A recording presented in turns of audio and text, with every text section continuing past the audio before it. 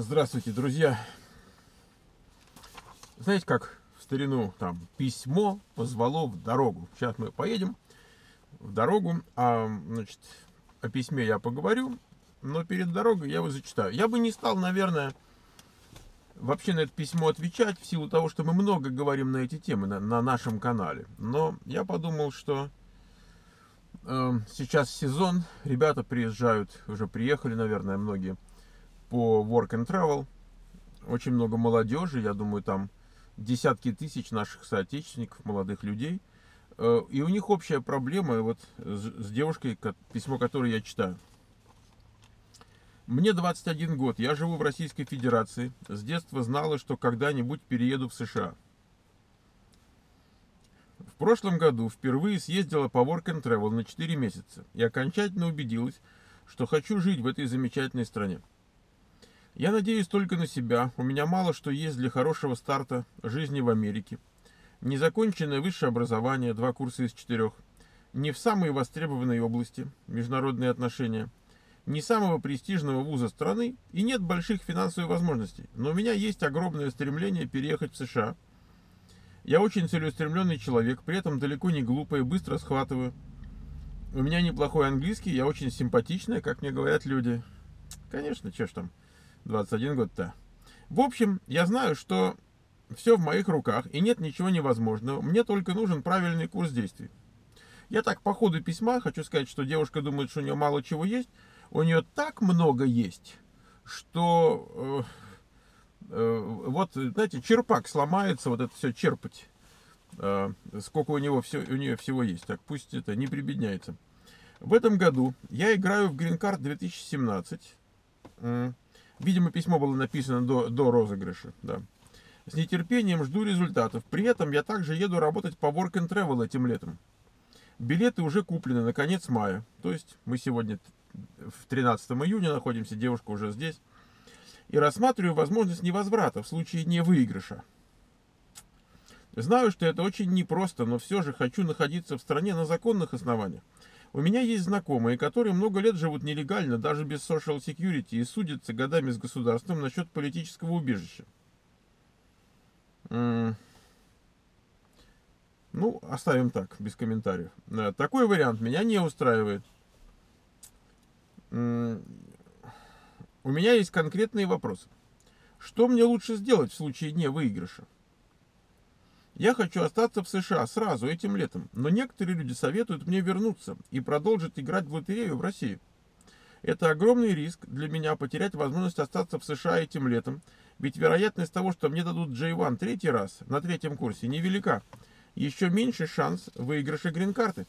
А я действительно жажду переезда в США любыми способами, но все же ищу для себя пути с наименьшими потерями. В случае, если я не выиграю грин-карт и решу остаться, как лучше поступить дальше? Смена статуса на учебный, подача на политику или, может быть, фиктивный брак? Знаю, что вам очень непросто будет на основе предоставленной информации что-либо мне советовать, но ваше опытное мнение для меня на вес золота. Знаю также, что выигрыш в лотерею это не гарантия стопроцентное получения грин-карты, но если такое все же случится, я сделаю все от меня зависящее, чтобы получить ее. Здесь для меня жизни нет. Я не боюсь работы, готова работать на двух или даже трех одновременно. Также не пугают трудности, которые встречают иммигранты в начале своего пути. Готова жить с румейтами. Понимаю, что ничего просто так не дается, если хочешь чего-то достичь. Нужно для этого что-то сделать. В России меня ничего не держит, я не связана с отношениями, семьей. У меня есть только самые мои любимые дорогие родители, которые поддержат любое мое решение и никогда не будут тянуть обратно. Ну, я в этом месте остановился. А, там еще есть фраза, что она думает, может быть, о нашей школе, о профессии тестировщика, но не знает, насколько ей это будет в масть. Вот. И мы сейчас тронемся и поговорим об этом, об этой ситуации, потому что э, тот вопрос, который девушка задает сейчас, вот прямо сейчас, вот когда я с вами говорю, он интересует десятки тысяч людей. Я не знаю, там, какое количество из них смотрит наш канал, но, тем не менее, если на жизнь кого-то это повлияет, я буду очень рад. Я вижу очень много людей, э, вот, э, которые прошли через эту точку в своей жизни. Потому что у нас студентов много, молодых ребят, которые когда-то вот так приехали по Work and Travel и остались. Э, кто-то остался, выйдя замуж. Фиктивность э, брака, вы понимаете, что судить со стороны, насколько брак фиктивный или по любви там или что, я я не могу. И э, тем более мне говорят, может быть, вы посоветуете фиктивный брак. Я не, я не буду советовать фиктивный брак. То есть, если девушка придет к такому решению, она сама к нему придет. Я, я тут не советчик и не помощник. И э, всякая вещь, которая является, э, как бы сказать, незаконной, причем это, фиктивный брак это очень сильно незаконная вещь, очень сильно. Вот, я, я такого советовать не буду. Значит, если сами там, давайте без меня. Но действительно люди выходят замуж, девочки выходят замуж, тем более симпатичная, и возраст такой нормальный. Вот, э, и по-английски говорит. Но это один из путей. То есть очень многие девочки выходят замуж. Это, это массово. Э, они знакомятся, у них тут масса возможностей и так далее. Второй вариант э, политическое убежище и собственно, все это было в письме перечислено. Я вижу очень-очень-очень много людей, которые пошли на политическую убежище. Следующее там было студенческая виза. Перейти на студенческую визу можно, но это же не является решением иммиграционного вопроса. Это, реш... это позволяет продлить легальное пребывание в стране какой-то ценой, да, то есть вы должны будете платить там за учебу, какое-то количество времени присутствовать на занятиях там и так далее. Э, это стоит денег. Наверное, можно там как-то нелегально подрабатывать, но, ну, в общем, это такой путь в никуда. Я знаю девушку одну, она на форуме «Говорим про ЕС» модератором. Так она 10 лет была на студенческой визе. 10 лет. И она подрабатывала, тяжелую работу делала там. Ну, ну то есть, вот если вы по почитаете ее историю, э, ей досталось «Будь здоров». Но в итоге, через 10 лет, она, она таки вышла замуж за нашего соотечественника, они там встретились, поженились, у нее сейчас все хорошо. Вот, но 10 лет. Поэтому студенческая виза это не решение, это отсрочка решения. Иногда бывает, что отсрочка, она дорогого стоит. Я, я ничего не хочу сказать. Вот. Но из таких радикальных решений, которые я вижу и которые вот девушка, значит, там описала, эм, политическое убежище или брак, вот, вот собственно, и, и то, и другое вполне подходит. Эм, и, и она не единственная в этом деле. Но мой совет вот какой. Я не обращаюсь в этом видео к тем, кто не знает, что ему делать. Вот если человек думает, остаться мне или не остаться, я, я не вмешиваюсь, это не мое дело, и я не, совершенно никак не участвую в таких, такого рода решениях. Эм, я не э, поощряю людей к иммиграции. Абсолютно нет. У меня даже мысли такой нет. Но если человек хочет, а вы слышали это письмо, и это, это слова очень искренние, очень убежденные человека, который фактически дома у себя отрезанный ломоть. И такой уровень убежденности, такой уровень решимости, что я, кем надо быть, чтобы не помогать таким людям, я не знаю. Поэтому Значит, вот я к ним обращаюсь, к тем, кто определился с тем, что они хотят сделать, но у них есть сомнение, как это сделать, да, потому что ей говорят, езжай домой. Эм, вообще странные эти люди, вот они говорят, езжай домой, там учись и играй в лотерею. Ну, то есть, фактически, езжай домой. Вот это вот лишнее, вот это вот, играй в лотерею, это лишнее. Потому что никаких шансов выиграть у него практически нет. Это, ну, там, э, э, это не такой шанс, ради которого можно там было бы какие-то решения принимать и говорит, так, есть такая вероятность, такая вероятность, такое событие, секое событие. Никакой вероятности там нет. Это не значит, что никто не выигрывает, но, но реально-то. Мы же, мы же жи, у нас же жизнь на кону целая. Вот, поэтому я много на форумах, знаете, года с 98-го примерно. Скоро 20 лет, как я на форумах иммиграционных общаюсь. И я видел очень много историй, а, очень много грустных историй, когда люди Э, не знали, что им делать, поехали домой, а дальше уже не могут снова попасть в США, а им крышу снесло во время этого work and travel. Особенно, когда вот он тут был, а потом домой вернулся, и у него вообще все поплыло перед глазами. Это очень массово, и они уже ни о чем думать не могут, а уже все. Ну, или, скажем так, уже сложно, уже, уже много лет уйдет, пока им это удастся, если удастся. Вот. Поэтому если девушка на, на, на, нацелилась, да, то я считаю, что давай вперед, не, не надо ехать обратно, делай сейчас. Э, возраст хороший, 21 год, замечательный возраст. Э, главный потенциал девушки, даже не в том, что она молодая, хотя это очень важно, и что у нее английский хороший, что совершенно бесценно. Но то, что у нее драйв есть, то, что она готова преодолевать там какие-то трудности и так далее. И когда человек готов сам что-то делать, то каким-то чудесным образом, знаете, вот он так наступает на воду, а она не расступается, он идет, и она идет по этой по воде, девушка, понимаете, по морю, аки посоху. Почему? Потому что вот она, она сделала свою часть работы, а остальное ей дадут. Вот, поэтому захочет тестером быть, тестером будет, захочет программистом будет программистом, захочет там по бизнесу где-нибудь будет по бизнесу, я не знаю. Это ее дело, это она потом определится. Это ей лучше будет видно потом. Но сейчас она приехала, у нее есть какая-то работа, она знакомится с людьми. Она может остаться либо на этой работе, потом уже, но неофициально, может куда-то еще двинуть. Эм, слава богу, работы сейчас много, любой, за наличку, за там, без налички, как угодно. Официальный, неофициальный. И подаст на политику и вперед. Или там замуж, я не знаю, там замужество.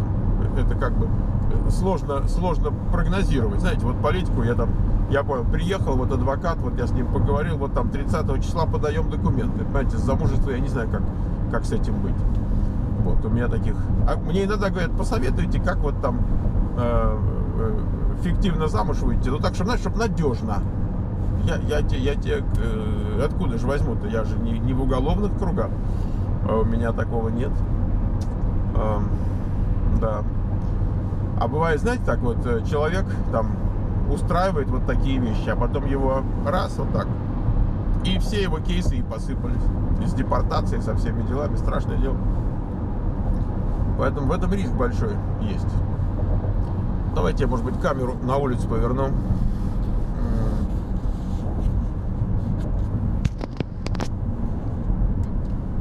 Ребята, которые уже в стране, которые приехали по Work and Travel, и уже у них, они почувствовали вкус, они э, вроде язык нормальный, могут общаться, знаете, этот страх прошел, э, вроде и работа есть, и они уже поняли, что они выживают на эти деньги. Сколько он там заработал? 10 долларов в час, но он уже на них живет и выживает. Да, с румейтами, да, бедненько, да, там пешком где-то ходит, или там на автобусе, там, или что-то. Ну, неважно, но уже деньги есть, он уже, уже откладывает. Он еще не научился тратить так, как он будет тратить через пару-тройку лет. У него же практически там расходов нет никаких, он все откладывает.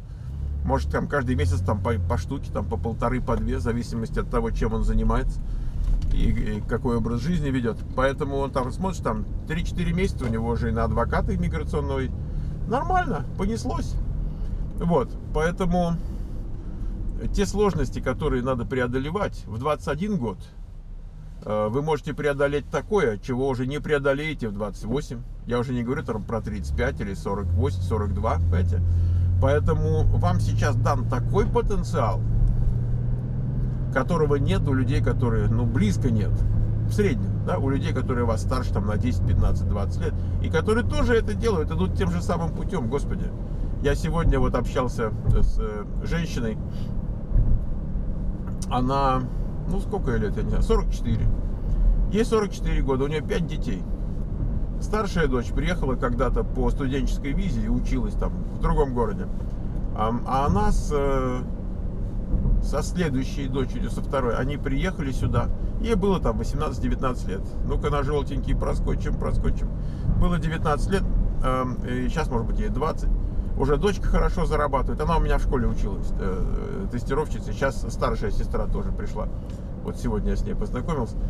И, э, и она, и вот она в, э, в подаче на политику, понимаете? И работает, очень тяжело работает там без выходных, ухаживает за бабушкой с Алцхаймером. Эм, вот. И, и вот они так живут, и вот они работают, и сейчас, сейчас они через год, глядишь, там у них интервью будет, если успешно все пройдет, они еще троих детей подтянут. У них там э, ребята на вырост тоже ждут, когда эти их заберут. Понимаете, э, в каких, в каких условиях люди живут и выживают, и там английского нет у мамы. Ну и откуда он возьмется, если вот так с бабушками сидеть? Ну, потихоньку, ну, потихоньку, ничего страшного. Поэтому в 21-то, представляете? Вот, поэтому что тут сказать? Я очень желаю девочке успеха. Это, это наша девочка, наша. Понимаете, она что-то там себя там, а, принижает. Говорит, там не самый лучший вуз, из, там, из провинции, там еще чего-то, еще что-то. Да ерунда это все. Не, не в этом счастье. Люди там по, по три вуза заканчивают и потом чем-то еще занимаются. Это не важно. Такая энергия, такая убежденность, такая целеустремленность. Да это за деньги же не купишь. У меня вон половина вопросов, которые на канале там говорят, вот нет мотивации, как жить дальше. Где найти мотивацию? Что учить? Python или Ruby? Вот вопросы у людей, понимаешь? Вот. А здесь, э, да, собственно, одна дорога-то и есть вперед. Не знаешь, чего хочешь, это отдельная история. Я, я не, не могу ничего сказать. Но, но в данном случае я могу только сказать, ну, я, я уже как бы уверен на, на 100%, там, там, собственно, нет оснований для колебаний, никаких для сомнений, для неуверенности, ничего нет. Там уже, уже все там на месте, осталось только это, ну, как бы оформить технически. Вот. Так что я надеюсь, ну, как надеюсь, это не мое дело, но как бы я надеюсь, что у девушки все получится, и она подаст там, я не знаю, на политику, выйдет замуж, там, как у нее пойдет. Но, в общем, что жизнь ее переломится, и там нечего терять, и, как она говорит, и все. И когда ей будет, вот сейчас ей 21, когда ей будет там, я не знаю, 20, ну, в зависимости от замужества или политики, по замужеству там, так она через пару лет, а по политике там, ну, не знаю, чуть больше. Она еще родителей привезет. Если девочке 21, так и родители же молодые. Скорее всего, достаточно молодые еще. Они тут поживут. А, как бы удовольствие от жизни получит. Очень, очень рад и за девочку, и за родителей, и хочу выразить уверенность в том, что все получится. И чтобы не ходить по кругу больше, я а, на этом с вами, друзья, расстаюсь. Счастливо!